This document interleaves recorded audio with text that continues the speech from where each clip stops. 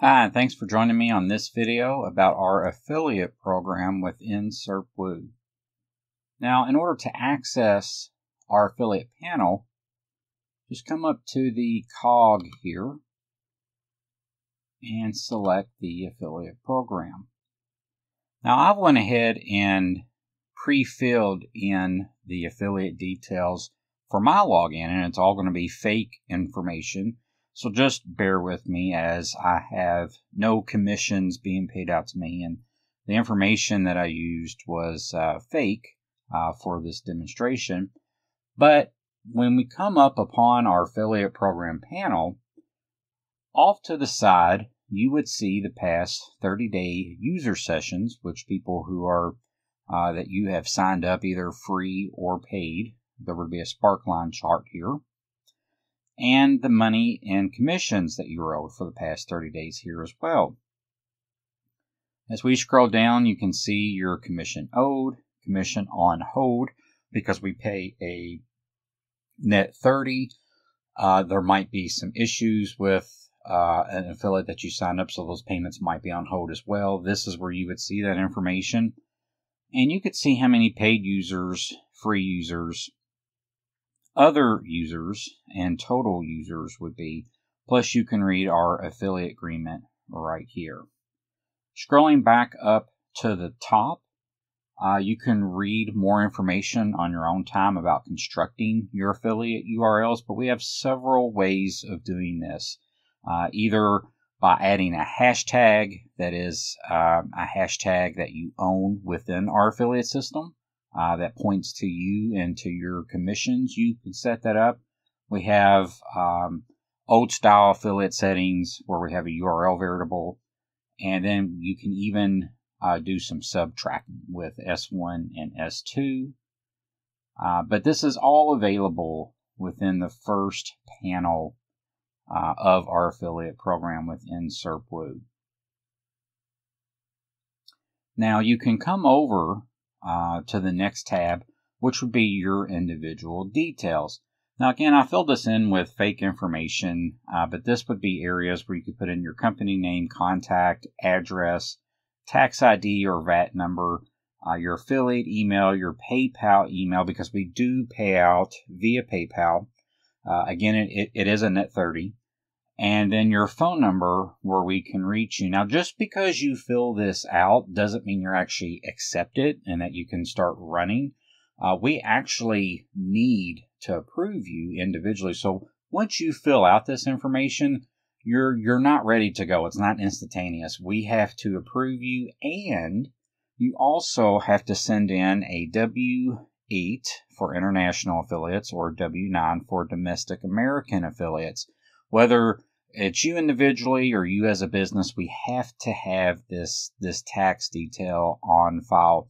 Now, I've dealt with many affiliates on our affiliate program, especially international affiliates that feel like they don't have to send this in. I'm going to tell you, if you set yourself up uh, within our affiliate program and we approve you, but we do not get your W 8 or W 9, you will not be paid. Uh, so, you know, if you fill this out and you talk to either me or my partner or somebody else at SERPWOO and they say, hey, yeah, you know, you're approved to be run. Uh, you know, you're approved in our system, but we cannot pay you unless we get this tax information. We have to have this tax information. So it doesn't matter uh, if you're from Belgium uh, or from Canada or from Hong Kong or Australia or even here within the United States. If we do not have a W 8 or W 9 on file from you, and you bring in a thousand dollars worth of commissions, you are not getting paid whatsoever. So you must must send in this W8 or W9 to us. Uh, you can either email it to us, uh, you can come down here to the help area and submit it to us. And if you send it to us, uh, make sure we respond back because just because you send it to us doesn't mean we actually got it in our email. It could have went to spam. Uh, it could it could have got deleted. If we don't reply to you, then you must assume that we did not get it. But this W8 and W9, uh, everybody forgets to send this in, and then they wonder why they haven't got paid. And I will tell you right now that if you sign up for an affiliate, um, and you do not send this in and a year goes by, you will be deactivated also for not uh, complying with the program requirements. Um, it's also important to know that we have a $100 threshold. So let's say that you fill this out, you get approved, you send in the W8, W9, and you send in one uh, paid sign up. And that paid sign up maybe stays on for two, three months on our low end plan. Uh, if you do not hit the $100 threshold, you also do not get paid. Uh, so we do pay out net 30 with a $100 threshold and you have to have your W8, W9, and be approved within our program to get paid. Uh, when that does not happen, uh, like for an example, this particular login that I've used uh, says the status is poor because I did not fill out a W8 or W9 and it's not on file. Uh, so a lot of this uh, information is also available down here. Uh, you can find out your last payout. you can find out when you were approved, when you accepted the affiliate terms, uh, if you're approved for emailing, um, if we've got a payout schedule, what your commission is actually, and your affiliate ID, and if you are active. Um, but it is important to realize, again, I have to stress again the W8, the W9. So once we've gotten past that area, you can go to the My Campaigns tab. Now, My Campaigns is where you can actually create campaigns. Uh, so, like for an example, I've created the campaign Upgrade Me. Uh, it'll tell me the date and time.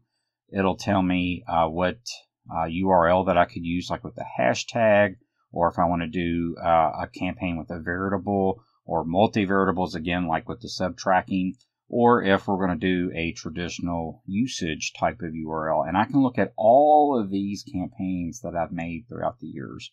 Um, some that go back to even 2015, but you know, you can come in here, create a campaign. Uh, once it is created, you can use it. I would not start just making up hashtags and veritables on your own.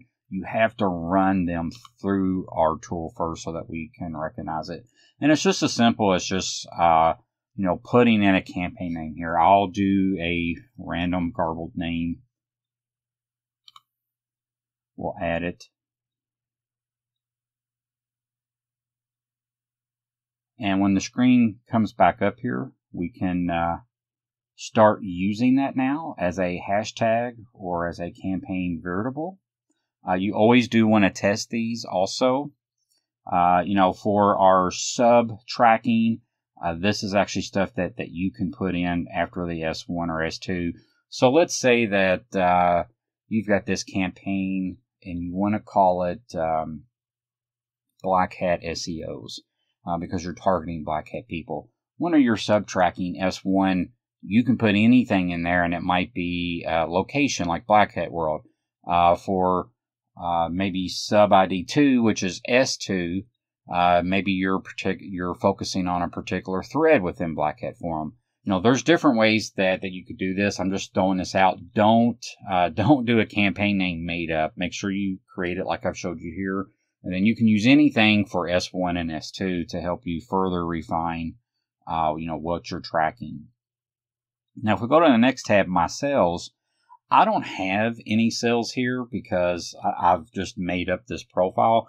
But if I did have cells, they would show up here. It's just not pre- pre-populated, so you know, don't freak out. Don't worry about it. Once you have cells, they'll be pre-populated here. Uh, all I've got is a free user that has signed up, so this is not populated, but all of your sales would be here.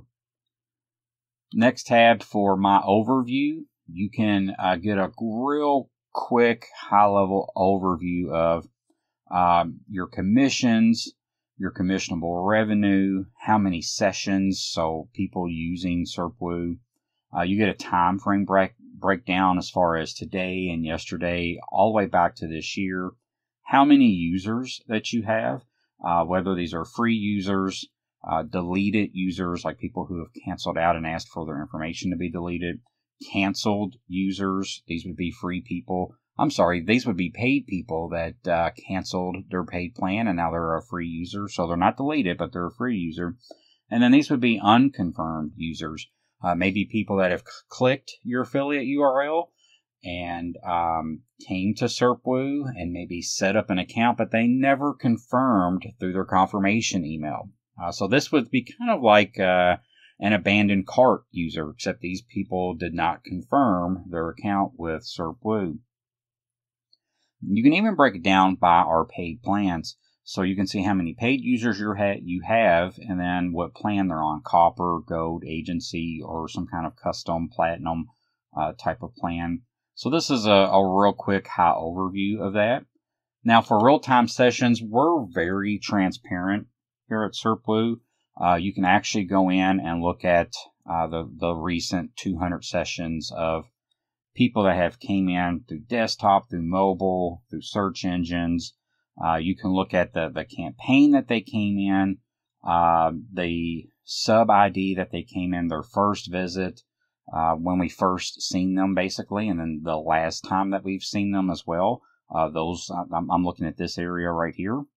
Uh, the current page that they were on, the page that they started on, the referring page, and even their user details uh, as far as like their browser information, um, their operating system, and so forth. So this will give you the last 200 of that. It's really easy uh, to, to look at and get your information. And then finally, you can get your campaign stats. Uh, so these would be basically your campaign names, uh, the creation of those campaigns, how many free users, unconfirmed, paid, custom, refunded, because uh, we do get people who, who want to refund, and that's going to affect your affiliate sales and payout, obviously. Uh, canceled, deleted, and anybody that we've determined as fraud. So you can get a, a quick campaign breakdown that way too. You know, guys, I've been an affiliate uh, for almost two decades, if not more than two decades, actually. And there's not very many programs, affiliate programs, that give this much information unless you've subscribed to your own custom tracker, or maybe you are a part of a really big affiliate program like Commission Junction. Uh, but everything else, uh, nobody has this type of granularity and breakdown for the most part uh, for affiliate programs. Uh, so this is, um, I think, an outstanding uh, revenue stream for people that are in the SEO market or in di- or in digital marketing. You can definitely get all the information that you need from us and be current and on top of uh, how many people you've signed up and where they are within the sales funnel and what you're going to get paid. Uh, you know, but I do have to stress again, we are net 30, $100 minimum threshold, and you've got to get that W8 or W9 in, or you will not get paid. And if for some reason you've signed up and then you don't complete it after a year, uh, you know, we're just going to kick you out because we want people who are serious, uh, who are going to follow the rules and, and, stay on top of things. We, we, we don't want people uh, that are just playing around and, and not serious. But I hope that this has given you a, uh, a good understanding of our affiliate panel and our affiliate program overall. But if you have any questions, concerns, thoughts, or ideas, please hit us up. Please contact us through our help desk or email us. Uh, or may or maybe find us through another channel because we would love to talk to you, love to help you out and, and figure out any issues that you have. Uh, but uh, past that, I hope you've had a great watch, and I'll catch you back on the next video. Thanks. Bye bye.